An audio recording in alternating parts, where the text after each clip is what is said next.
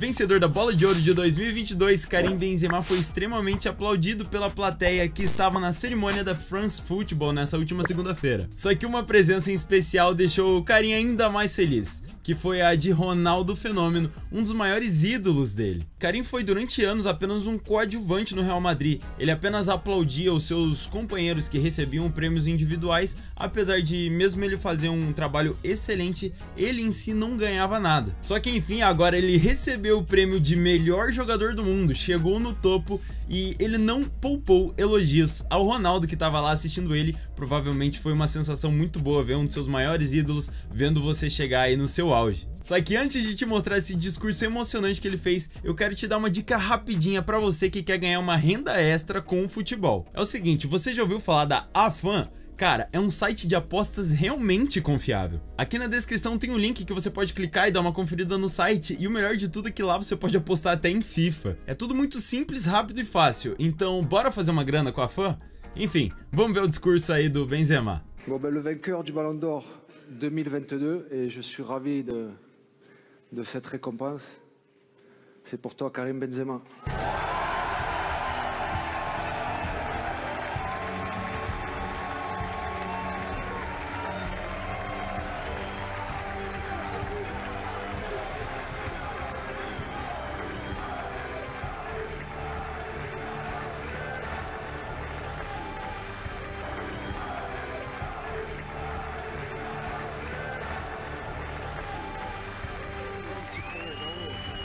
Obrigada, boa noite. Funciona? Está funcionando? Sim, ok. Então, boa Euh, noite a todos. Ver isso aqui diante de mim é um orgulho para mim. E eu estou pensando aqui petit, quando eu era pequenininho, travail todo o trabalho que eu nunca larguei, nunca deixei, era um sonho de criança, como todas as crianças, não é? Eu cresci com isso na minha cabeça e depois eu tive a motivação, euh, porque eu tive dois modelos na minha vida, Zizou e Ronaldo. Euh, Então,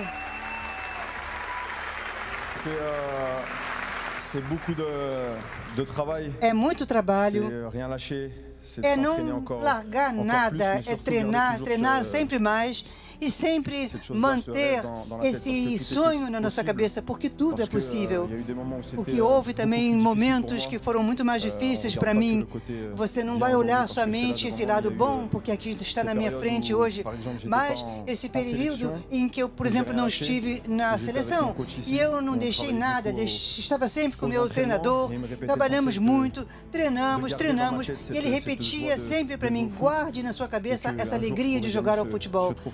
Jogar futebol, porque um suis dia você poderá ganhar esse troféu. Então eu tenho muito orgulho do meu percurso. E como eu parents- disse, foi difícil. Euh, Meus pais estão aqui hoje e houve esse período que foi difícil para toda a minha família. me Isso somente me deu mais força et mentalmente. aujourd'hui, E em être seguida, foi possível estar aqui hoje presente. É a primeira vez content, para mim. Estou muito feliz, muito satisfeito com o meu trabalho. Vou continuar assim.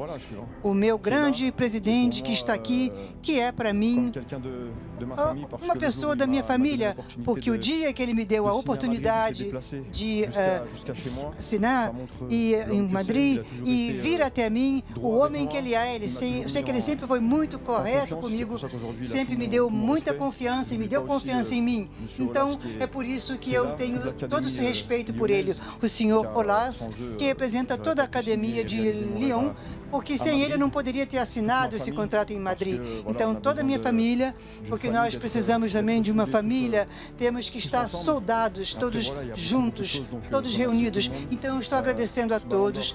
está Estou muito feliz ídolo, por ele estar aqui. Ele sabe que ele é meu ídolo. Para mim não existe outro atacante como Ah, ele. Lo que, lo que, lo que has hecho en el, en el campo es O que ele fez no campo é uma coisa impossível de se repetir. es historia es digo que es el único Na ah, história, ele é o único mi atacante que, se decir no meu time, ele vai. Vou me sentar no banco sem dizer nada, porque ele está num nível que realmente é impossível de chegar. Como ele, como, como Zizou aqui. Como Para mim, é é é história o fenômeno. Não só para mim, como de todos os atacantes. É o fenômeno. Realmente muito emocionante, né, meus queridos? E após esse discurso aí, duas coisas viralizaram na internet. E a primeira delas é essa entrevista. Olha só. Fred volta ao Brasil e a torcida faz festa.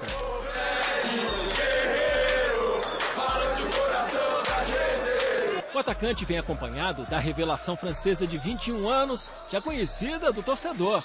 Futuro melhor jogador do mundo, você vai ver, pode escrever. O maluco previu o melhor do mundo quando o Benzema ainda não era ninguém, quando ele tava lá no Lyon, cara. Esse tem visão do futebol, hein? Imagina se ele acerta quem vai ser o próximo melhor do mundo. Será que é Haaland ou Mbappé? E a segunda coisa foi essa foto aí, meus queridos. Essa foto diz muito. E eu acho que a principal coisa dela é você conseguir entender, você saber entender o seu tempo, velho. Porque ele tava lá só aplaudindo os seus companheiros, estava simplesmente apreciando a vitória do outro e depois de um tempo chegou o momento dele, cara, chegou a vez dele, mesmo aí não sendo mais um jogador jovem, né? Geralmente quem ganha a bola de ouro tá ali nos 20 e poucos anos, exceto Lionel Messi e Cristiano Ronaldo, que são totais exceções no mundo, mas ele conseguiu chegar no topo, mesmo disputando contra Haaland, contra Mbappé, contra Vinícius Júnior, contra contra Vinícius Júnior, entre aspas, né? Porque o Vini ajudou ele a chegar lá. Mas enfim, o cara conseguiu chegar mesmo depois de velho. E se você gostou desse vídeo, já vai deixando o seu like e se inscreve no canal para não perder nenhuma notícia, curiosidade do futebol que eu trago aqui todos os dias e momentos importantes como esse também pro esporte, momentos muito emocionantes. Se você gostou aí do discurso dele, deixa o likezão e até o próximo vídeo, beleza? Até a próxima e fui!